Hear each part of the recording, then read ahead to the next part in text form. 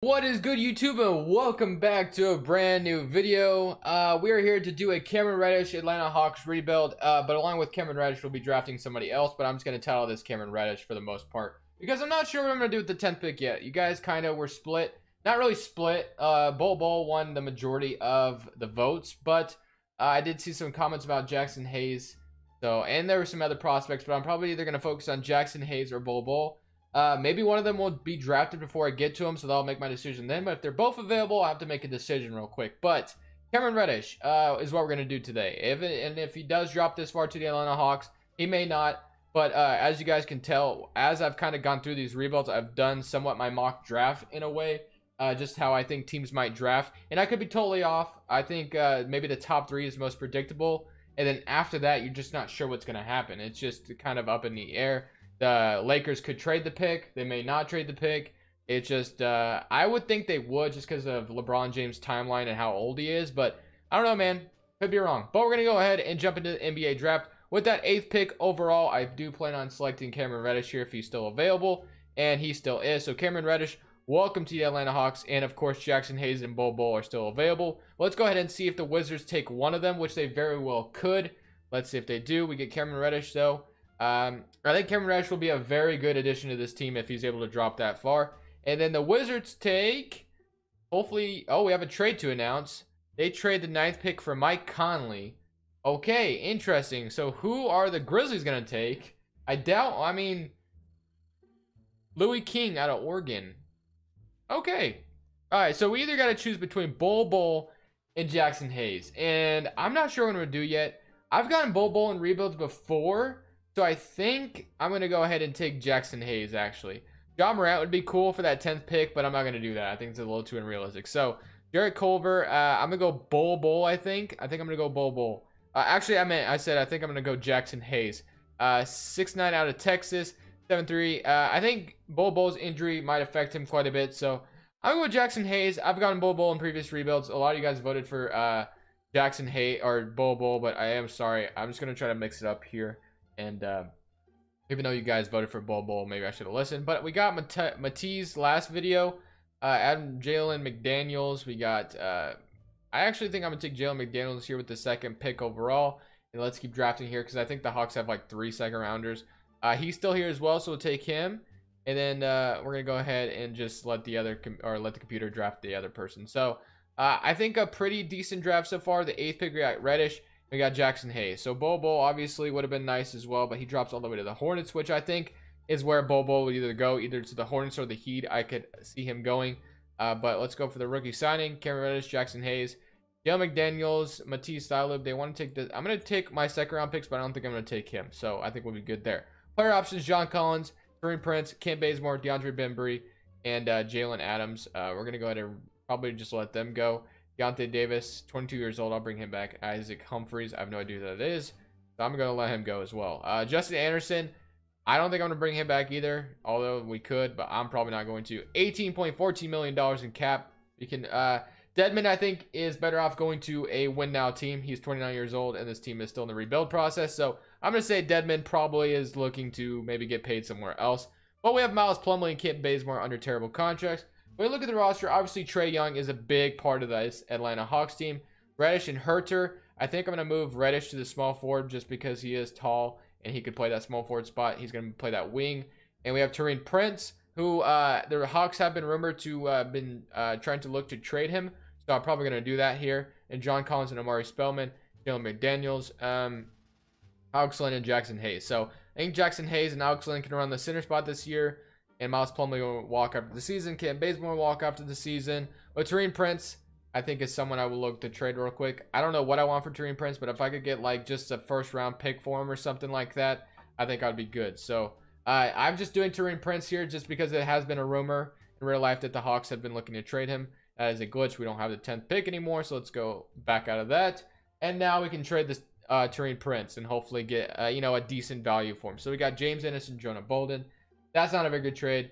Tony Snell, don't like that either. A top 10 protected pick from the Chicago Bulls and get TLC. That actually is looking somewhat realistic there. I might come back to that.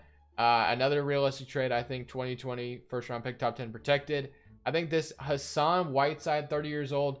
Um, but we'd have to trade a first round pick. If we didn't have to trade a first round pick, I might do this trade, but uh, just because we have to trade a first round pick, I'm not going to. So uh, Malik Monk, got him in the last video, so I probably won't do that. By Elitza, Frank Ntilikina, and Mitchell Robinson. If Mitchell Robinson was in this trade, I could probably back Mitchell Robinson out of it, and we could get Frank Ntilikina. But uh, I'm not going to do this. I don't know if it makes a lot of sense for the Knicks to get Taurean Prince when they're trying to build three free agency anyway. So uh, a first round pick from the Suns. They give me Tyler Johnson for the season. Um, 2023. We'll never get to that pick in this video though, so I'm trying to get something I could use. Steven Adams, 25 years old. Um, yeah, but we got Jaxson Hayes, so I don't know if I want to do that. Damian Jones. So I think I'm going to go with one of these first round. I think I'm going to go with this Clippers trade, a 2020 first round top 10 protected pick. They get Rodney McGruder, so we get a first round pick for him. I'm cool with that. We'll roll with that. So uh, welcome to the team, Rodney McGruder, and that 2020 first round pick from the Clippers. So I like that quite a bit. Now we have three first round picks from our three first round picks next year, which is awesome. So now, uh, who did the Cavaliers draft? Because that's going to make a big difference with that. Uh, they took this year little. So maybe they'll be a lottery team next year. I'll probably just bank on it. Hopefully they are. But when we look at the roster, we have $41 million. This is not a team that I expect to be that aggressive in free agency, though. I'm not sure if I will be or not. I think I like my starting five with like Kevin Huerter, Trae Young, Reddish, Omari Spellman, John Collins. Uh, I think we definitely need a backup power forward, though, most likely. So let me try to get that. Let me definitely try to make this team a little bit better off the bench and stuff. Jabari Parker, Actually, I wouldn't mind him off the bench for a couple seasons. He is 24 years old. Uh, I actually wouldn't mind that. He wants 18 million dollars a year though. That actually is somewhat terrible. So I'm gonna give him another contract like he got last year, a two-year with a team option. I think that's what I'll do. Him off the bench wouldn't be too bad at all. Small forwards, uh, we can go with. Uh, let's see what else we got for small forwards off the bench. Ariza, Joe, ISO Joe, bring ISO Joe back to Atlanta. Let him retire. You know what? I want Joe Johnson retired at Atlanta Hawks. So we're gonna do that. And then let's go. Who else? But as far as someone who's actually gonna play, uh, Bojan Bogdanovic off the bench would be cool, but I don't think I'm gonna go with him. Mark Carroll, Carmelo. We know Carmelo was a legend for the Atlanta Hawks, but I probably won't bring him back. Uh, Lance Stephenson, Furkan Korkmaz, uh, definitely fits the timeline of the team. Nick Stauskas, Garrett Temple, uh, Mario Hezonja, Stanley Johnson. Dylan Johnson, man. Just, I don't know. I don't know about him. Royce O'Neale, 26 years old. Uh, I could see myself maybe having him for on for a season or two. And then shooting guard spots fine. A backup point guard. Jeremy Lin was there already, so I don't think I want to bring him back. Beverley, Rubio, Elfrid Payton. McConnell. On right, Isaiah Thomas. Actually, I kind of like the idea of Isaiah Thomas maybe being somewhat of a mentor to Trae Young, but not really. But does he really need that veteran? I mean, just to mentor Trae Young for the season actually wouldn't be too bad at all. Um, I don't know, man. I kind of like the idea of that, but at the same time, I'm not sure. Uh, Austin Rivers, 26 years old. Delon Wright. I think I'm gonna sign Isaiah Thomas just for the hell of it. You know why? Why not? So let's sign Isaiah Thomas. Give him some uh, mentorship to uh, Trae Young. Let's get Kevin Durant as well. Just kidding. We probably can't. So now we look at the roster: Isaiah Thomas, Trae Young, uh, Kevin Kent Bazemore, Kevin Huerter, got Cameron Reddish, Joe Johnson, and Royce O'Neale now power forward spot's fine, and the center spot's fine. So I'll probably have Isaiah Thomas mentor Trae Young. I don't know. Uh, he has 20 badges, so I think that should be good. And then uh, definitely something like that should look cool. $13 million. We're going to have more cap space next year. So we're going to see how this team does. We're just going to focus on this developmental year. Just kind of want to see this team progress. Obviously, John Collins and uh, Trae Young are a big part of what we're going to do for the future. Jabari Parker is still really young, and I could see Atlanta just taking a flyer on him. That's why I brought him here some people hate it when I sign Jabari Parker, but I mean, he's going to get a chance somewhere eventually. So I like this starting five. Uh, as far as a youth movement goes, this starting five could be dangerous one day. Trae Young, Kevin Huerter, Cameron Rush, John Collins. I do like it. I like it a lot. So let's load that 2020 draft class. Hopefully we bank on the Clippers not making it in the top 10 and the Cavaliers being a lottery pick. That would be awesome. But let's go ahead. We have one tap untapped potential. For a young team, we definitely need to get more because – uh, we're definitely a young team. So I'm to give Kevin Huerter an A minus potential. And then uh, I don't even know what that said, but I just skipped over it. Here's the nine man rotation, actually 10 man rotation. We got Trae Young, Kent Bazemore, Cameron Reddish, John Collins, J Alex Len, Jabari Parker off the bench, Isaiah Thomas off the bench, uh, Jaxson Hayes, Kevin Huerter. I do like this a lot, but actually I think I'm going to start Jaxson Hayes over Alex Len, and I'm going to start Kevin Huerter over Kim Bazemore. So that should look good. And we can go ahead and give this guy 16 minutes and give this guy 20 minutes. I'm actually going to take their minutes even more. We're going to do that. Let's give Kevin Huerter about 29. Let's give Jaxson Hayes about 30. We'll do that. So I think that's going to look good. So Trae Young, Kevin Huerter, Cameron Red. I actually want Cameron Reddish getting a lot more minutes than he is. Jabari Parker, I don't need him getting like 28 minutes. That's a little ridiculous. Cameron Reddish, let's get him to about 30. Uh, let's take some. I want John Collins getting more minutes as well, though. So take some minutes from the bench here a little bit. Uh, let's give uh, Cameron Reddish about 32. Let's give John Collins about 35. So we'll roll with that. This is proficiency. Let's look at what it's looking like. We got a three star rating with the unta- or the balance system. Seven seconds goes up to three and a half. So I'll go ahead and change it to seven seconds. But I'm gonna simulate this full season. Let's see how this Atlanta Hawks team does. A whopping 41 and 41 record. We actually end up making the playoffs, which is nice. Unfortunately, Cleveland made it as well and the Clippers did not. So that's not a good sign. So we might end up losing out on that Clippers pick. Let's see where they're at in the standings. I really don't want to lose out on it, but we'll see. Hopefully they were like right outside the playoffs. And uh probably 50-50 chance we get it. We're probably not going to get that 10th pick, which is very unfortunate. But nonetheless, we are facing the Boston Celtics here. So let's see what we got as far as player stats are concerned. 21 points from Trae Young, about 14 from uh, John Collins, and 14 and 12. And then we had 14 from Jabari Parker off the bench, which isn't too bad at all. Uh, not too bad. And then we have uh, Kevin Reddish with about 14. Isaiah Thomas had about 13 off the bench. Jaxson Hayes with 12 and 7 and a 2.5 blocks, which is nice. Kevin Huerter, 11. And uh, Omari Spellman and uh, Joe McDaniels. I actually forgot to send them to the G League. G League is something I do like to use, but I kind of did it halfway through the season, so they probably didn't develop as much as they could have. But we're down 2 1 to the Boston Celtics. The fact that we're getting playoff experience now for this young core, though, is probably nice. Uh, we're going to push the Boston Celtics to seven games, guys. So that's actually really nice. Let's go ahead and see if we could potentially upset the Celtics here. That would be absolutely insane if we could, though. And it looks like it's not going to happen. 105 to 124. The fact that we pushed the Celtics to seven games, though, is very nice going forward. So I do like that a lot. I probably end up declining Jabari Parker's team option, although he had a pretty good season with us. I, still just don't think I want to pay him $18 million again, especially when this free agency coming up. Probably going to get a little bit more aggressive here. So we got Cleveland making it all the way to the NBA or Eastern Conference Finals and to the NBA Finals. And we got Cleveland and OKC. And we got the OKC Thunder winning in five games. Uh, speaking of, how about them All NBA teams? Not too bad. The only only people I saw really complaining about who got snubbed was Bradley Beal. Um, other than that, I mean, every year someone's gonna get left out. It's unfortunate. Just like Damian Lillard was left out out of the All Star games quite a bit. Just what it, it is, what it is. Klay Thompson wasn't very happy, and I understand that affects his contract because Klay Thompson could have been eligible for a max, I think. But now that he's not a um, what do you call it, lottery? Now that not a lottery pick, now he's not an All NBA player, he doesn't get it. So uh, the Clippers are projected the ninth pick, hoping they don't get it. So let's see. Let's hope and pray. Uh, it ends up being 10. So they actually keep their pick.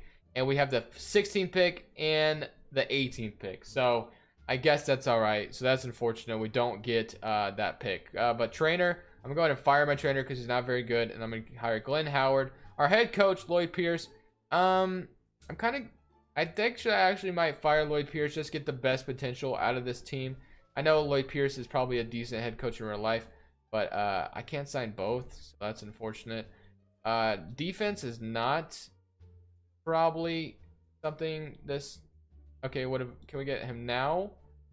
We do get Michael Stoffer now, head scout. I'll probably just leave everything else the computer. But for the NBA draft, we have the 16th pick and the 18th pick. I'm curious if I could potentially move up in the draft. That's like my ideal situation right now.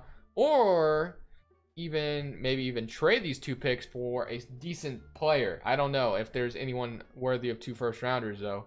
Um, Zubac, Jordan Bell, Karooks, Chris Wilkes, Austin Rivers, Bobby Portis, Robert Kevin. Yeah, there's really no one that sticks out to me. So I'm gonna go ahead and try to actually flip these two picks for a higher pick. So let's see if we can get that.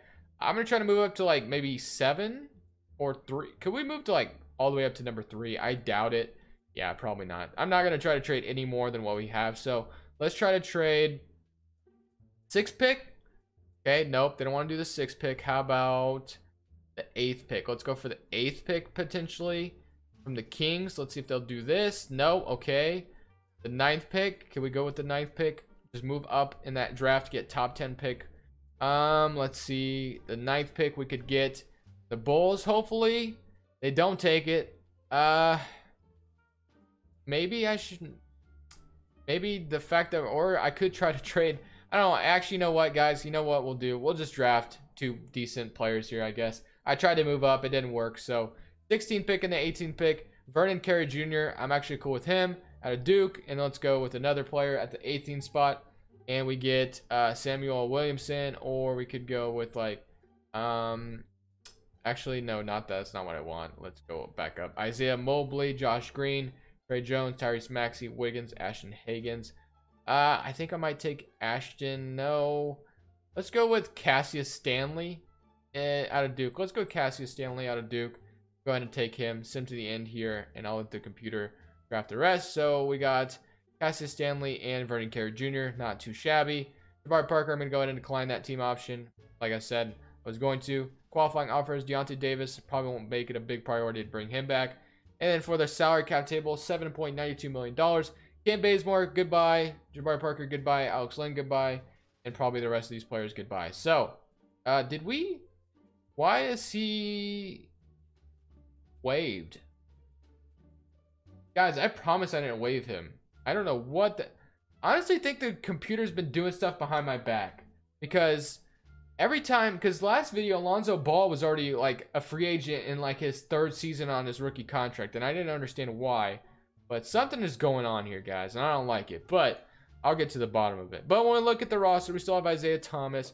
Kevin Huerter, still that shooting guard. We got Cameron Reddish now. Uh, Omari Spellman, John Collins, and Vernon Carey Jr. So, um, really, I'm going to just try to get the best available player out here, potentially. Uh, probably not a lot of good free agents that'll fit the mold of the team right now.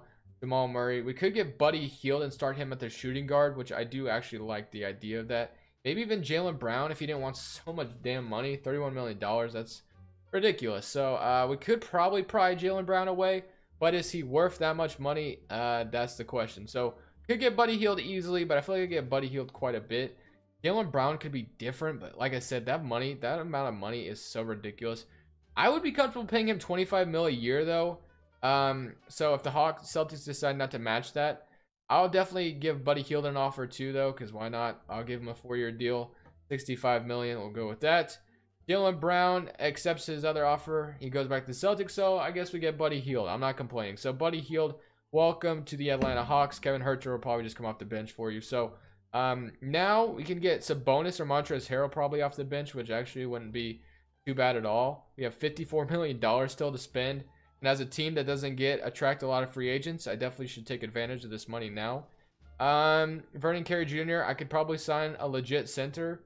Maybe Sabonis, have him come off the bench for us. 24 years old. Kind of like the idea of that. Montrezl Harrell wouldn't be too bad. I'm going to go ahead and give Sabonis a deal as well. Why not? So let's see if Sabonis accepts my offer. And he does, and he doesn't get matched. Brandon Ingram, I could probably bring Brandon Ingram here too. But I do like Cameron Reddish still starting, so I'll probably just leave it. But I think we'll be good here. I think it's good. Um, we'll go ahead and leave it uh, at the rest. Leave the rest. Could probably sign Fred VanVleet as well, 26 years old. If I wanted to move on from um, Isaiah Thomas, I could do Shabazz Napier even. I'm Gonna go ahead and sign Shabazz Napier to a one-year deal. Go ahead and do that. Might end up trading Isaiah Thomas here. But let's see if he could. Let's see what Isaiah Thomas could get us. I don't know if I want to keep him here. So uh, one year deal left for Isaiah Thomas, 31 years old. Not too bad of a contract. We could get Enes Kanter and Beverley, uh, Evan Fournier, a first round pick. I don't know if any team would offer a first rounder for Isaiah Thomas nowadays. We could get Mohamed Bamba. That's ridiculous. 2K Trade Finder is so crazy sometimes.